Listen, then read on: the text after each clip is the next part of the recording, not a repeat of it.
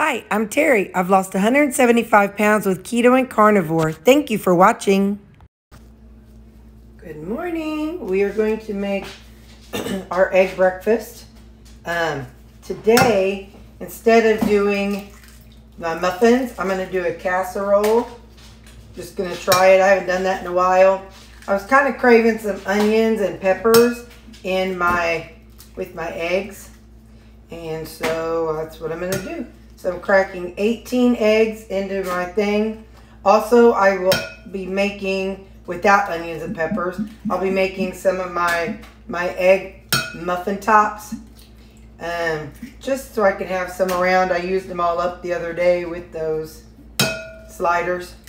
So, anyway, so I'm going to do this. I've got my salt out so that way I can remember. I'm going to put a little harissa in with it just to give it some fun flavor. Um, you know, sometimes I have people ask me if I ever make chaffles, and no, I don't, because I am a bulk maker. I like everything in bulk, so I don't. And those chaffles are one thing at a time. So by doing these six, uh, the six muffin tops, that is that allows me to have six, um, you know, three sandwiches if I wanted them. So yeah, that's the answer to that. I'm not against it. I think they're pretty cool.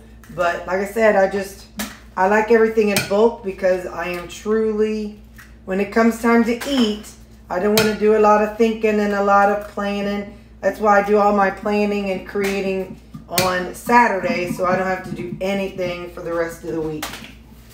So all I got to do during the week is grab it, plug it in, and go. So I'm to plug in a little bit of my no salt. Oh gosh, I might have just totally ruined it. Put in just a little regular salt. And the thing is, I can't stick my finger in it taste it because it's eggs.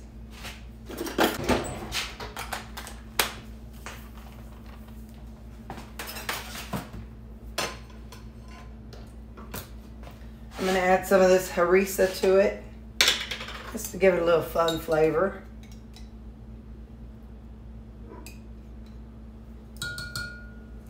And some ground white pepper. This is enough for making one casserole, so it'll make uh, six servings.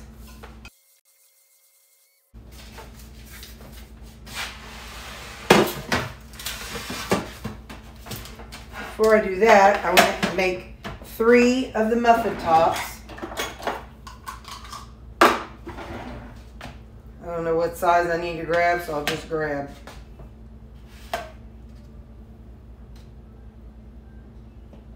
I don't want them to be really big because I don't want to take away from my egg breakfast casserole, so Believe it or not, I do not have any rutabaga. So, if I had rutabaga, I could have shredded it up and put it at the bottom of this. Kind of like, uh, like a hash brown, but nope, I didn't. All right, so that's to be my eggs.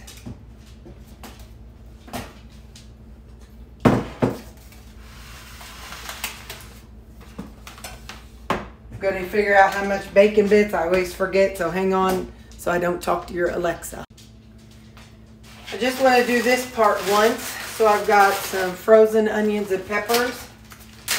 And I'm going to saute them all up.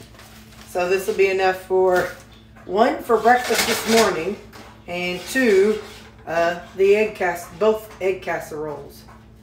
So I'm going to put a lid on this if I can find it and I'll be working on sauteing it down. I'll come back in a little bit. It's coming along. It's the frozen onions and peppers so they're still a little bit frozen in there but I'm just going to saute them up. I sprayed it with duck fat so I don't have a whole lot of um, extra fat in there.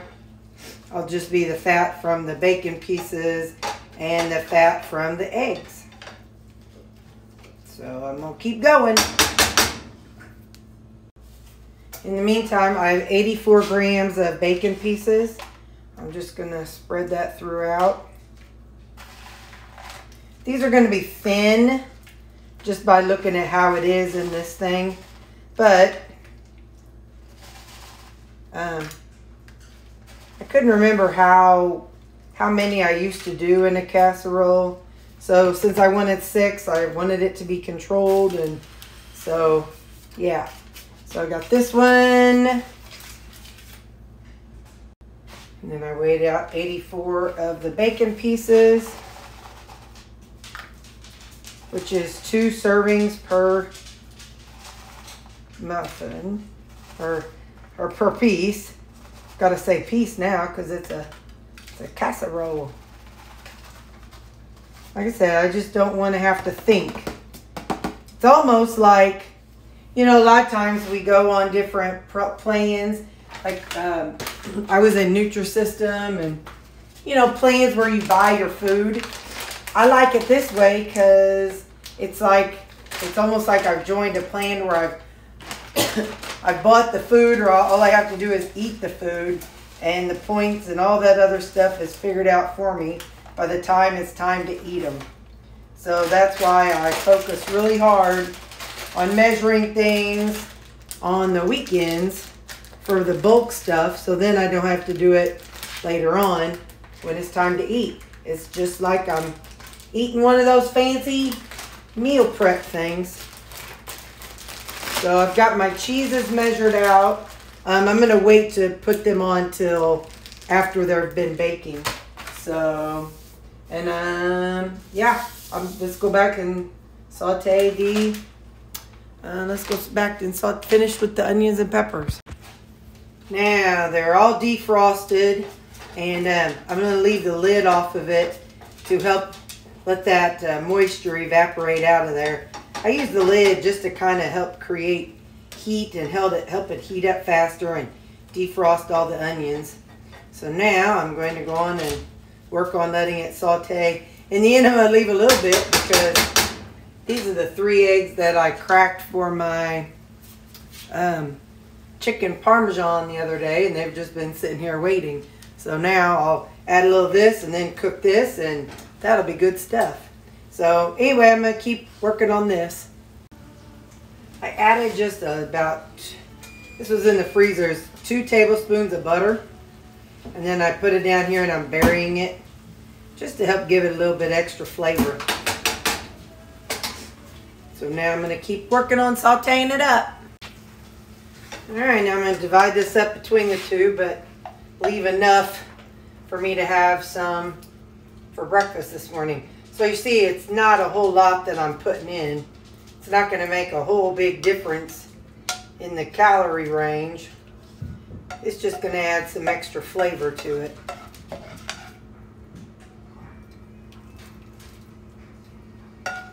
And a little bit more. Okay. And I'm just going to kind of spread them around a little bit so that way it's all over the whole thing. I'm going to bake this in the oven. Um, you know, it's funny. I think I might used to have used the uh, my small square one. That might be the one that I used to use. But it's okay. It doesn't matter. Sorry, there's a little wrestling match going on in the other room. So I'm going to bake it for about 40 minutes.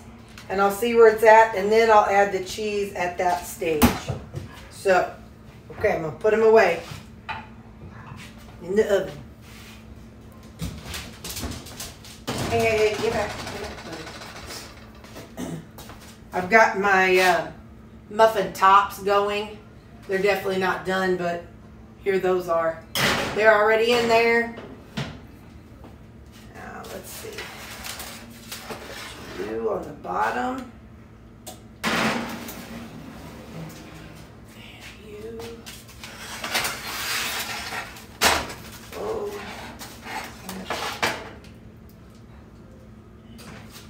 Hey Alexa, set a timer. Eggs, 40 minutes. All right. So I'll see you all in 40 minutes. Right now, I'm going to make my breakfast. So I'm taking these out. I'm gonna let them cool, but they're they they're I poked them with the toothpick and they came out clean. So I'm going to let them cool and I'll put them in Ziploc bags in twos. So in, I could have three three types of sandwiches or or if I just wanted garlic bread with something, I could pop one out and put a little bit of um, butter and garlic on it. And um, yeah, so I can use those for all kinds of things. Okay, bye. It's been about 35 minutes. I just want to poke them and see how they're doing. They look like they're done. So what I'm going to do is I'm going to go on and top them with cheese. I'm going to turn off my oven. I'm going to top them with cheese. This is going to be, uh, this is three servings of cheese. So that way it'll be a half of a serving of cheese on each piece.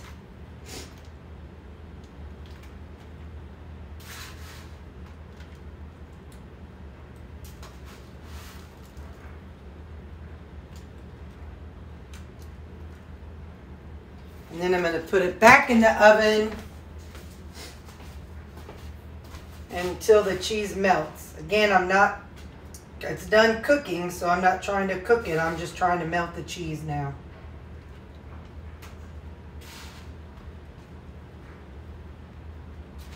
So my oven is turned off.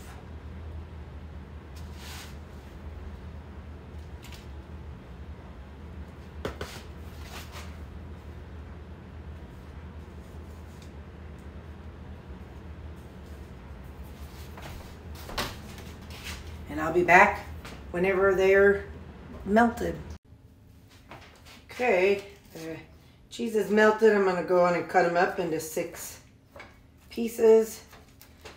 This end is thicker, so I'll have these be a little bit smaller. And then these can be a little bit bigger. And I'm going to, I'll pull this the foil out and let it cool. Then that way, when uh, it's all cooled, I'll separate it from the foil and I'll put it in Ziploc bags. But now it's uh, it's all cut up. So now I just got to scoop them out. So we're going to pull this foil out and let go sit on the counter. By using that foil, I have no cleanup. These are nice and clean. They can cool and I can put them back in my counter and that's two less dishes to wash.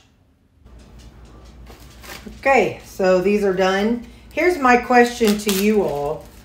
I have made these egg casserole things in the past. Every time I do, they stick to whatever I'm cooking them in.